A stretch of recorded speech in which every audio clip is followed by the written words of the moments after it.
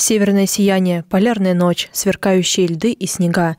Суровая северная красота Арктики завораживает и удивляет. Природа и животный мир полярного района Земли уникальны. Здесь обитает более 20 тысяч видов растений, животных, грибов и микроорганизмов, а некоторые животные и растения встречаются только в Арктике. Главная их особенность – способность выживать в экстремальных условиях. Об этом удивительном уголке планеты дети узнали на очередной научно-познавательной встрече «Добро пожаловать в Арктику» в библиотеке имени Пушкина. Ребята разделились на четыре команды. Каждая команда выполняла свое задание и создавала творческий мини-проект. Ребята отправились в виртуальное путешествие, изучали этот чудесный край, открывали что-то новое для себя. Были созданы четыре площадки, каждая посвящена определенной науке, например, география, экология, зоология и э, ботаника. И ребята на каждой из этих площадок изучали этот чудесный край.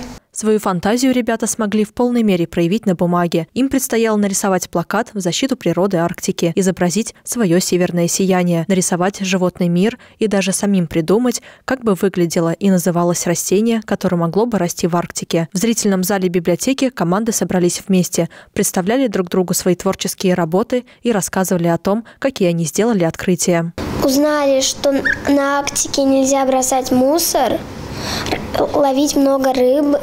Мы рисовали на Арктике, что нельзя бросать мусор. Мы еще рисовали белого медведя. Мы рисовали северное сияние. Мы узнали, что э, есть северное сияние, полярный день и полярная ночь. Там солнце не никуда не уходит, он просто по кругу. А ты что узнала? Я узнала, что у северного сияния есть звук, и оно не всегда появляется.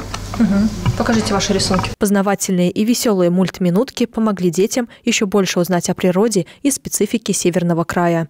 Следующее мероприятие библионии будет заключительным. В среду 23 августа в 14 часов библиотекари Пушкинки подведут итоги проекта и наградят самых активных ребят. Светлана Ярунова, Андрей Махмудов, Кирилл Новикевич, служба новостей Саров, 24.